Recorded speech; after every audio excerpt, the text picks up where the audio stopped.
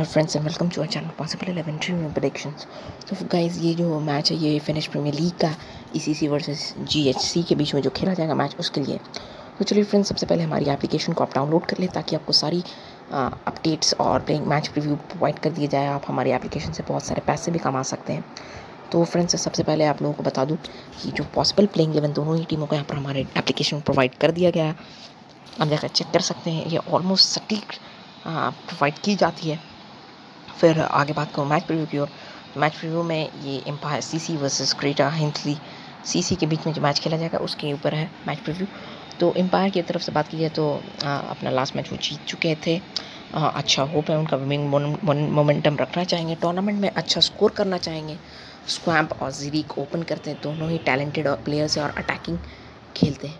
Richard Shoaib और मोहम्मद इमरान तीनों ही बहुत अच्छे प्लेयर है जो कि मिडिल ऑर्डर संभालते हैं। अमजद शेर, महेश तांबे फिनिश करते हैं और जॉनसन जो कि विकेट कीपिंग करते हैं। सोहेल ताहिर और भरत नगर लीड करते हैं पेस अटैक को।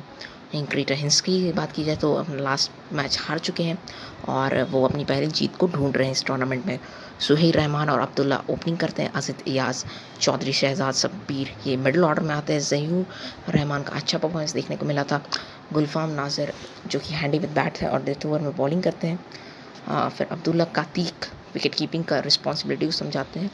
और इतियाज़ हसन और काफिफ मोहम्मद दोनों ही अच्छे पेसर है जो कि अच्छा कर रहे हैं। हेड टू हेड अभी तक इनका आमना सामना नहीं हुआ है। दोनों ही टीम की बात की जाए तो एक अच्छा मैच देखने को मिलेगा। एक प्रोबेबल मैच विनर एम्पायर है, हो सकते हैं क्योंकि एम्पायर एक विनिंग मोमेंटम के साथ आ रहे हैं अच्छा मोमेंटम है। टॉप पिक्स विद स्टार्स यहाँ पर आपको प्रोवाइड कर दिए गए हैं। चार पिक्स जहूर रहमान जिन्होंने लास्ट मैच में 55 रन्स बनाए, नवीद शाहिद जिन्होंने तीन विकेट्स लिए, फिर तांबे जिन्होंने भी तीन विकेट लिए लास्ट मैच में स्कैमन जिन्होंने 38 रन्स की पारी खेली। फैंटेसी टिप्स की बात की जाए तो फास्ट बॉलर्स का इस पिच पे अच्छा रोल रहेगा। महेश तांबे टॉप पिक होंगे कैप्टनसी के ऑप्शन में। फिर जखमन को भी आप, जो कि कीपर उन्हें ग्रैंड लीग में कैप्टन बना सकते हैं। रहमान और शाहिद दो अच्छे एस एल कैप्टन्स हैं। कैप्टन वाइस कैप्टन किसी को भी आप चूज़ कर सकते हैं। यहाँ पर बेस्ट परफॉर्मर आपको प्रोवाइड कर दिए जाते हैं। फिर कैप्टन वाइस कैप्टन के अच्छे ऑप्शन यहाँ पर हैं। एजाज इमरान, तांबे, शेर अहमद शब्बीर पीटर और नाजिर।